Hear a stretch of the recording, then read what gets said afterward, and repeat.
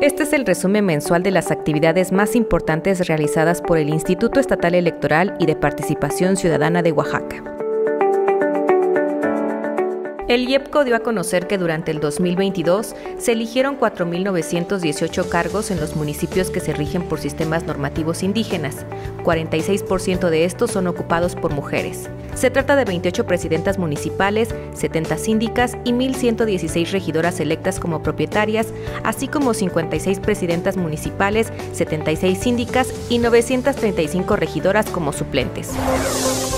La Comisión de Prerrogativas, Partidos Políticos y Candidaturas Independientes, presidida por la consejera electoral Jessica Hernández García, inició los trabajos para la constitución y registro de partidos políticos locales. Derivado de ello, nueve organizaciones ciudadanas realizaron su manifestación de intención. El IEPCO, en coordinación con la Junta Local del INE, presentó los resultados del proceso de distritación electoral aprobado por el Consejo General del INE. La nueva demarcación territorial, conformada por 25 distritos electorales uninominales locales, se utilizará en el proceso electoral local 2023-2024. La consejera presidenta Elizabeth Sánchez González asistió a la Asamblea General Ordinaria y Congreso Nacional de la Federación Mexicana de Organismos Públicos de Derechos Humanos, a la graduación de estudiantes respaldadas por la Fundación 100 por Oaxaca, a la que también acudió la consejera electoral Zaira Hipólito López.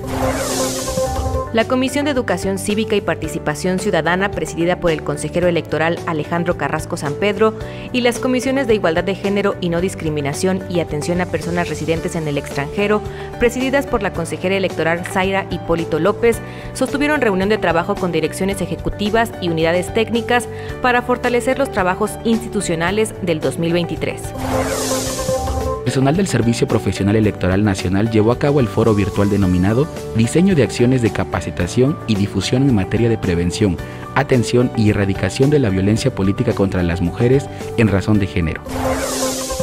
Las comisiones de comunicación y transparencia, presididas por el consejero electoral Wilfrido Almaraz Santibáñez, las comisiones de igualdad de género y no discriminación y atención de las personas residentes en el extranjero originarias del estado de Oaxaca, presididas por la consejera electoral Zaira Hipólito López, así como la comisión de prerrogativas, partidos políticos y candidaturas independientes, presidida por la consejera electoral Jessica Hernández García, aprobaron sus planes de trabajo 2022-2023. Integrantes del Consejo General del IEPCO realizaron la apertura de la bodega donde se resguardó la documentación y material electoral utilizados en las pasadas elecciones. Lo anterior como parte del inicio de las actividades relacionadas a la destrucción, desincorporación y, en su caso, conservación de la documentación y material electoral derivado de la conclusión de los procesos electorales ordinario 2020-2021, extraordinario 2022 y ordinario 2021-2022. Para mayor información, consulta www.iepco.org.mx o nuestras redes sociales.